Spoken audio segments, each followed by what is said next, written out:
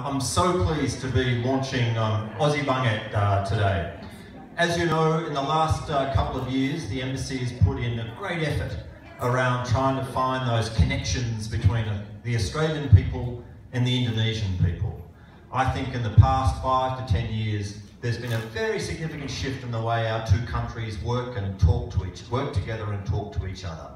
Too often I think we look at the very formal indications of how the two countries are getting along, forgetting that each, each of our countries has a huge population doing all sorts of things in their everyday life, and in many cases doing all sorts of things in their everyday life with Indonesia or Australia.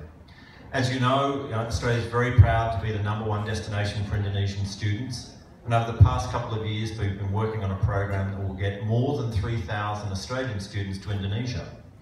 Last year, our numbers of tourists from Indonesia into Australia grew uh, very significantly, and the same from Australia into Indonesia, which is very good news because, I've, as I've always said, the two great cables that connect our countries are education and tourism. So I'm very keen to, to continue that.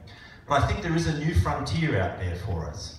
And I think the new frontier in the community is the creativity that you can find in both our countries, in the creative sectors. You see in Indonesia some wonderful films. You see some fantastic furniture design and some wonderful fashion. And the same in Australia.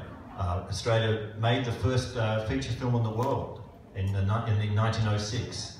In the 1970s, we had Australian New Wave film, which produced 400 fantastic films, uh, some of which you know, the most famous being Mad Max, of course.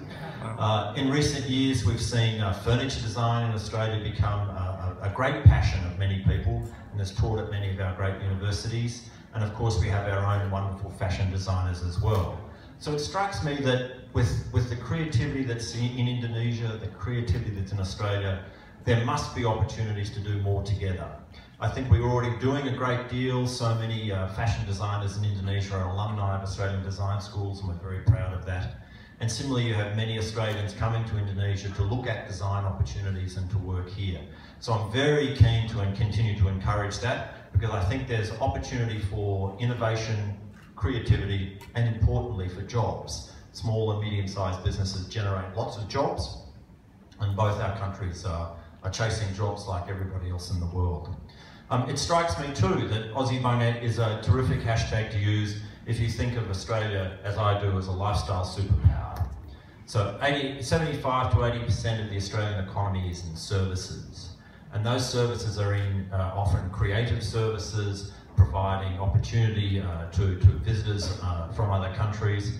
And I think that's something we should celebrate, that Australians are very good at welcoming visitors, whether they be tourists, business people or students, and that we go out of our way to provide a, a terrific experience for them.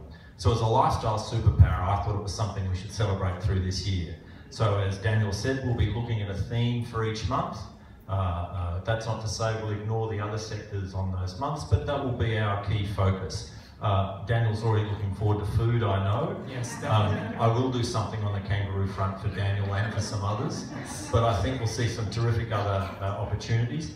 One of the uh, months that I'm most excited about uh, this year is dance. So in the last couple of years, we've focused on film, on fashion, a little bit on furniture design, a little bit on engineering, but I think one of the great uh, unexplored sectors of cooperation between us is dance. The Western Australian Ballet came uh, to Indonesia last year for the first time in a long, long time, and the first Australian ballet company to come in a long, long time. And it was amazingly successful.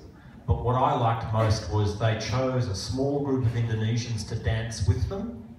They did that several months out, and then they gave them coaching over Skype.